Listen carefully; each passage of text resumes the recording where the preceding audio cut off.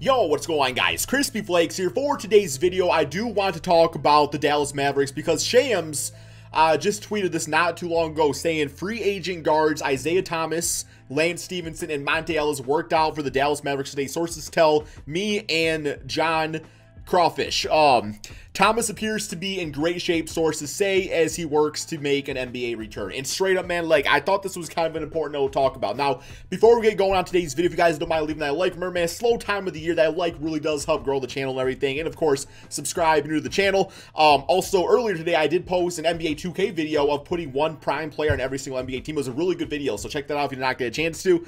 Um, but yeah, man, the reason I really wanted to talk about this is because I wonder if it's kind of getting to the point are the Dallas Mavericks towards the end of the offseason here trying to save face and maybe getting a little bit desperate when it comes to Luka Doncic? Just because uh, looking at the NBA offseason report here for the Dallas Mavericks, not moving myself, they're my bad.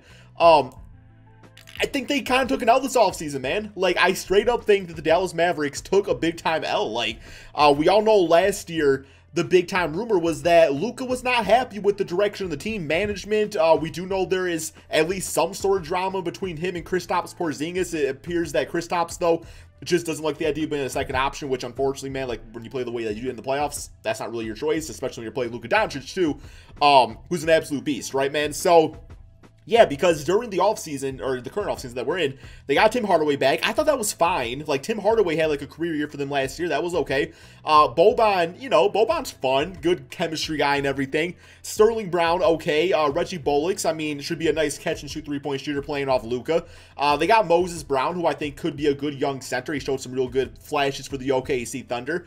Uh, but they lost Josh Richardson, who I don't really think was, like, a great fit on the Dallas Mavericks. Anyway, he really has not been a good fit since the Miami Heat days. But uh, you look at that, and, and that's it. That's really all there is to show for the entire team. So you go back here, man, you know, looking at the tweet and everything. I mean, Isaiah Thomas, Lance Stephenson, Monta Ellis, you know, Isaiah Thomas, I really hope he does get a job in the NBA. Like, I feel like he just has that work ethic, and I, I feel like it's a good opportunity to maybe, um, you know, I, I don't know, man. Maybe maybe a low risk, high reward move, which I guess technically all this stuff is. You know, Lance Stephenson.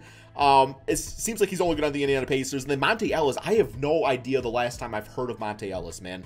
Like Monta Ellis, I remember him from like damn like 2K negative three or something like that. So I do want to go over here to basketball reference, and I just want to see what these guys have been all about as of late. Like when's like the last time these guys have played basketball? We're gonna start with Isaiah Thomas right here because we do know that uh, he did play basketball you know, last season for the Pelicans, I believe was. Let me shrink this down here, guys. My apologies, man. Sick editing. There we go. There we go. Okay, so last season, Isaiah Thomas, seven points, two assists, one rebound per game. He played, it was only three games with the Pelicans. And uh, what else did he do, man? He shot about 25% from three. 38% uh, estimated field goal efficiency. Uh, and I, I think about that too. I try not to think think too much about those numbers because let's be honest, he was coming off like injury and he was rusty. It was only three games with an entirely new team, and uh, I also don't think Isaiah Thomas was a great fit with the Pelicans to begin with, especially with a guy like Stan Van Gundy, who I just don't think is the greatest coach in this era of basketball. Um, so I guess you look at the season before with the Washington Wizards, you know, 12 points, four assists per game. That was in about 40 games. Uh, realistically speaking, man, it's been it's been a minute since he's really played a complete NBA season. But I think the beautiful thing about that is the last time he really did play one, he was an all-star. He averaged 29 points per game, like nearly 30 points a game, man. That's absolutely crazy to think about. And while it does seem like it was a long time ago, it was about four years ago, which, uh, you know, for, well, the issue with Isaiah Thomas is that so much of his game is reliant on his athleticism. If you guys watch some prime, you know, that 2016, 2017 version of him, uh, you can just see the way he gets to the basket and uses his body and everything, especially when you're a shorter player like myself, too. You know, you really got to be athletic and pretty relatively healthy, which is why I'm personally a garbage basketball player. Isaiah Thomas and I are like the same height. So, yeah, man, uh, I, I, can see where the injury really derailed things. So, I mean, he would be interesting, I guess, to see on the Dallas Mavericks. I just, I don't know, man. I don't know. And then Let's go ahead and look at uh, Lance Stephenson next. I think he wasn't too long ago that he played last. Uh, he last played for the Lakers in 2018-2019, averaged seven points, three rebounds, two assists per game. So that's kind of what Lance Stephenson is known for, is being kind of like that do-it-all. Um, I almost call him like the Draymond Green of shooting guards, which is probably bad comparison because he's actually a pretty decent three-point shooter. Um, But yeah, so he played for the Lakers at about 16 minutes per game. So the per 36 on that. Let's check that out real quick here. 16.7 rebounds, 5 assists.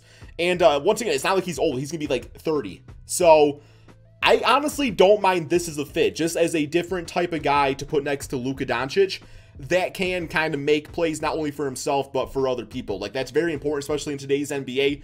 Uh, having kind of like that multi-purpose, you know, multiple type of like guards and ball handlers, primary ball handlers on a basketball team, right? So, and even the season before that, playing for the Pacers, uh, nine points, five rebounds, three assists per game. That was in about 23 minutes, right? So, yeah, uh, throughout his career, he was all. I mean, I would say his numbers have stayed pretty consistent. Uh, I would say out of all three of the players, I would say Lance Stephenson probably makes the most sense for like low risk, high reward type of thing. Uh, if he can really work it out, you know, for the Dallas Mavericks. And then finally, you have Monta Ellis. Like I said, man, I do not remember the last time Monta Ellis has played basketball. 2017 was he? I guess that was four four years ago.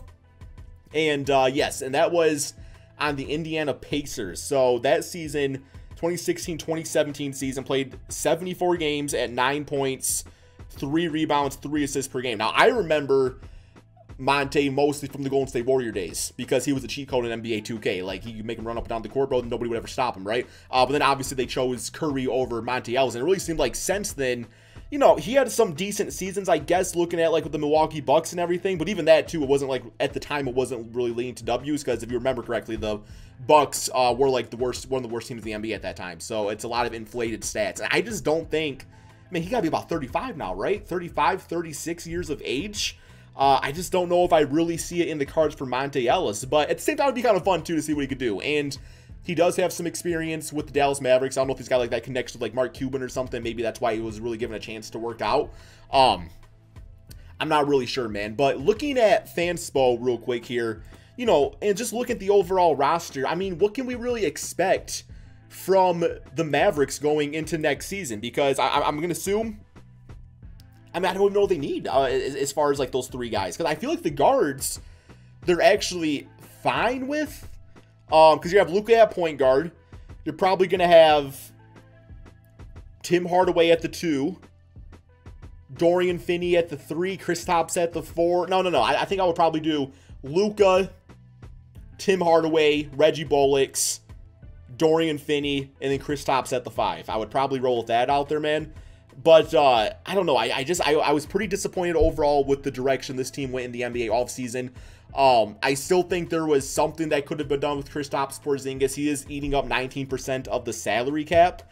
So, yeah, man. I mean, okay, if, if I could redo the offseason for the Dallas Mavericks, which might actually be kind of a fun video idea for an NBA 2K series or something like that, maybe once the season gets going a little bit, uh, I, I would have probably said that I, I still would have loved the idea and I know when it comes down to it, like they don't really get the choice here because the other team has to agree. Man, I would have loved some sort of CJ McCollum, um, Kristaps Porzingis type of trade. Just something centered around that. I feel like Damian and Luka both need two different types of guys to play with. And I feel like those separate guys on the separate circumstance would have been good. Because for me, the way that like CJ plays plays pretty similar to like Damian, where it's like no, you want like a different skill set. So, so you put Kristaps over there, and then CJ scoring. I mean, he would just excel playing off Luka. It would be literally the perfect fit in my book, man. But uh, I don't know if that's really going to be the case. Uh, you guys let me know in the comment section below. What more do you want to see this Dallas Mavericks team do? Do you think they're going to make any more big time moves? Do you like the idea of them bringing on, you know, Monta Ellis in 2021? Do you think Isaiah Thomas should be given a chance? Because even from the point guard standpoint, I mean, you know, I really like, uh, what's his name? Yeah, man. Uh, yeah, Jalen Brunson. So, Tyrell Terry, I think, could be given a pretty good chance. I just feel like some of these cases, it's like, eh, why bring on that guy when you got some other guys out here and the guys you're bringing in just kind of come off as desperate. So that's all we have for this video, man. Uh, be sure to drop that like, subscribe if you're new to the channel. Also, check out my second channel, ExtraKrispy. I just did a video of grading every NBA team's best dunk. And uh, yeah, that was fun. So that's all we got. Peace out.